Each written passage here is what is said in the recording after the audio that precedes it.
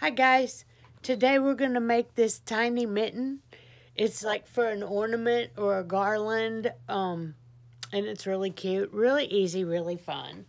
So let's get started. Now I have uh, stopped my yarn right here. I'm going to snip it.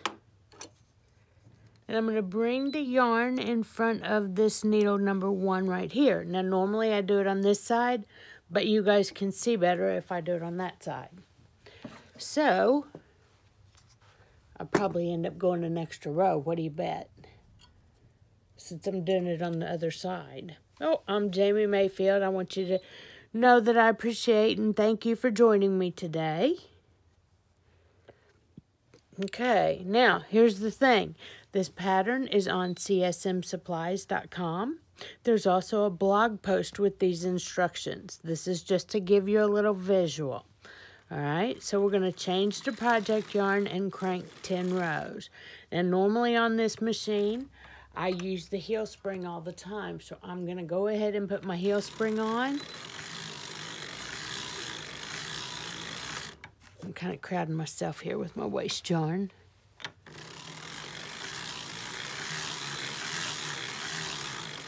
Okay, now I have to stop on at midnight rather than 6 so I can start hanging the hem. Now, hanging the hem on this 10 rows is the part that's going to take the longest on the whole project.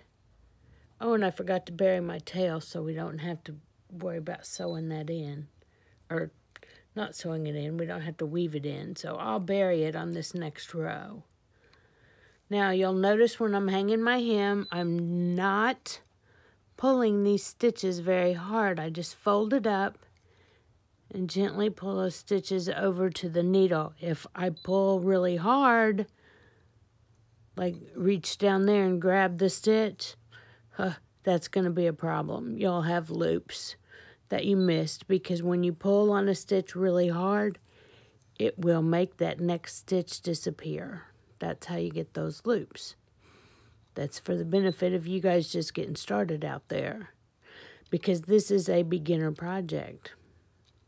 Because it's just a mitten. It's just an ornament. There's no stress involved.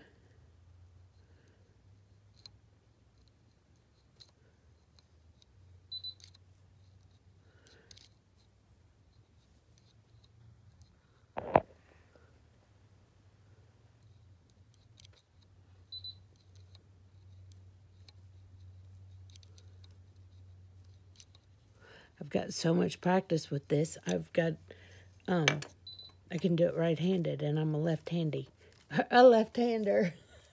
All right, so now I have to push down on these stitches because if I pull down, you'll you'll see there's not much put downward pressure on those stitches. So I'm going to use my finger. Oh, yeah, I have to weave my tail in. Thank you, dear husband, for keeping me organized. He's my husband, but he doubles as the video guy. All right, when we're at home. Okay, I'm just going to knit this tail in with the other yarn. Give it a little tug. Okay, finish hanging this hem. Call this project almost done. That's what we'll do.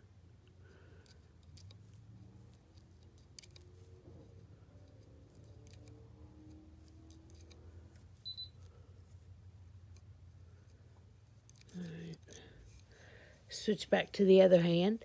You know, the other thing you'll notice that I do is I do each stitch sequentially. I don't skip around. That's another way to get loops. But if you keep doing the next stitch, you won't, or you'll have less of a chance of skipping one inadvertently.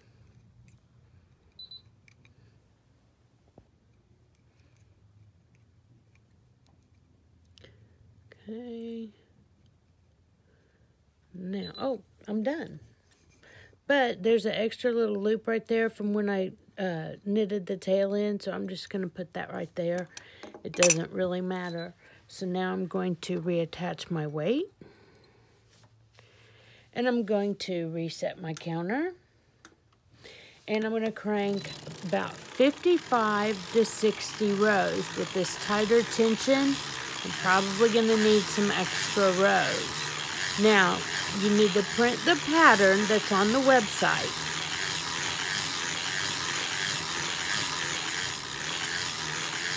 And then you need to cut out the mitten shape.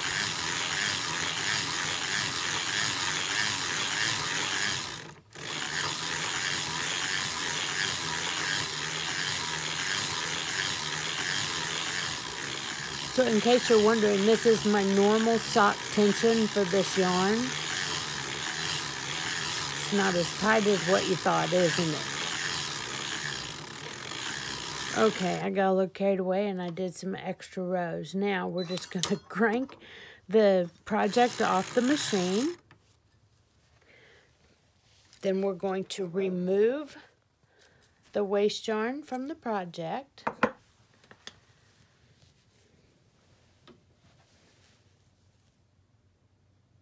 These scissors are kind of fat.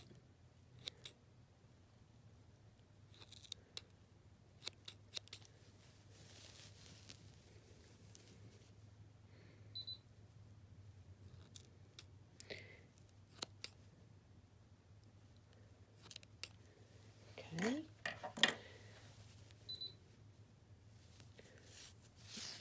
I'm working on this being a party trick. Okay, it worked on that side. Normally, when you guys are watching, the party trick doesn't work. You see, that time it didn't work. I grabbed the wrong string, but I can pull it backwards. And voila. Okay, never even took a French class, and looky there, babe, I'm bilingual. Huh. Okay, so the most important step in this project turn this bad boy inside out. And follow me into the sewing room. Just don't pay attention to my mess.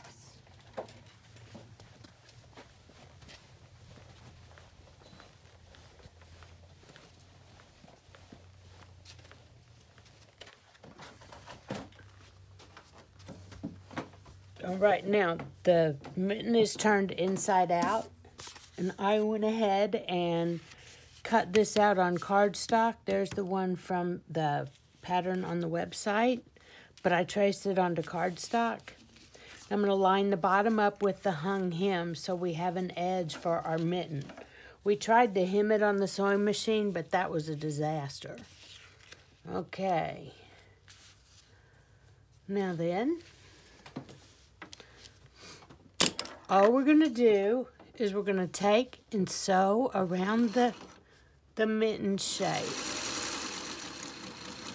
Okay.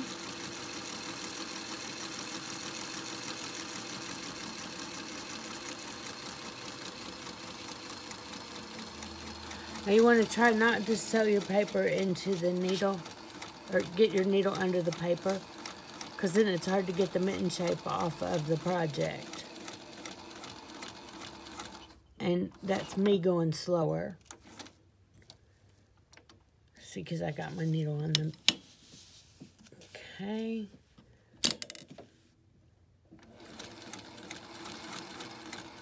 And normally I have two speeds on this sewing machine, stop and wide open. This little thumb kind of gives me fits.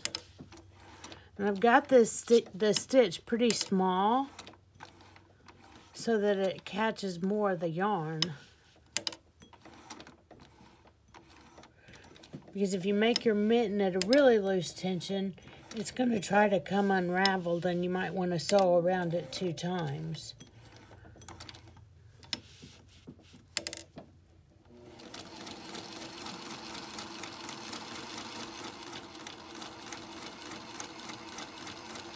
Oh, and I forgot to go backwards and forwards at the beginning to lock the stitch.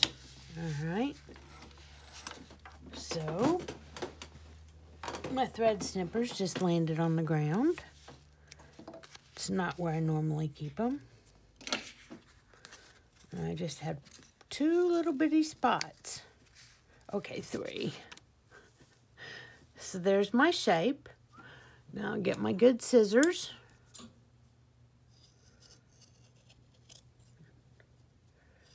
trim around the mitten.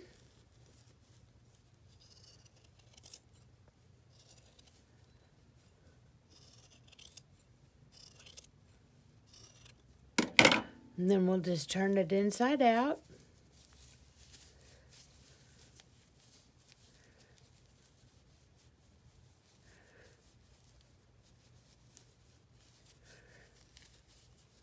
Get the thumb poked out. All right. And there you have the little mitten. Now, you want to see how I make a hanger? I might take and put a little glue right there but I don't think it's a deal breaker at the bottom. You want to see how I make the little cord for the hanger? Step back into the knitting room. Get my thread snippers.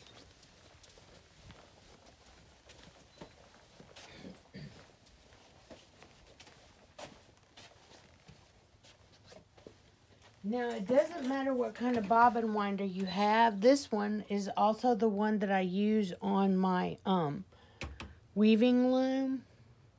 So we're going to get a piece of yarn that's two different colors. Okay. That's yay long. Right, then I have this little bitty clip.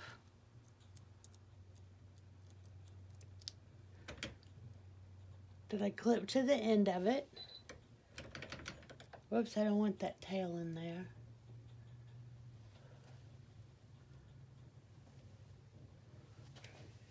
Let's cut that tail off. Because what I wanted was the two separate colors. And then I'm going to hold on to the end of the loop out here. And all I'm going to do... Well, that didn't go so well, did it? Okay. All I'm to do is twist this together. Just holding it and twisting. Then I'm to go in the middle, let it twist on itself. And that's how I made my little cord to hang it with. Isn't that cute? Ta-da!